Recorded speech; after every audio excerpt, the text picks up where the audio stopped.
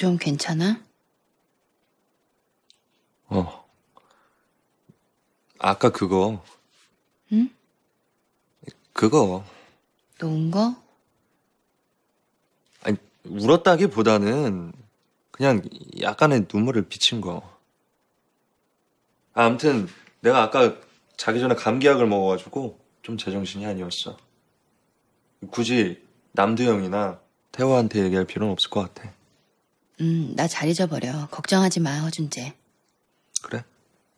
그럼 다행이고. 앞으로도 나한테 열심히 얘기해.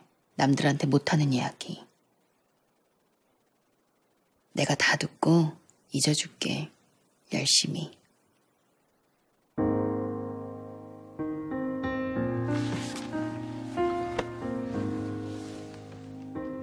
정말 다 잊을 거야?